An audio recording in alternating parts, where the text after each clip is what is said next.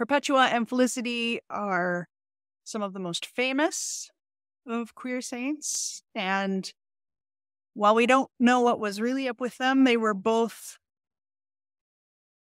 a part of five Christians who were condemned to death because of their faith and were going to be killed by wild animals and swords. And during the time they were in prison, they consoled each other and comforted each other.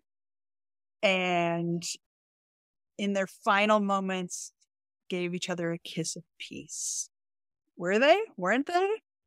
We don't really know. But the reason that they became saints, the reason that people mem- remembered them, the reason that their stories are carried forward to this day is because Christians in that time period liked that story that they were together, that they loved each other.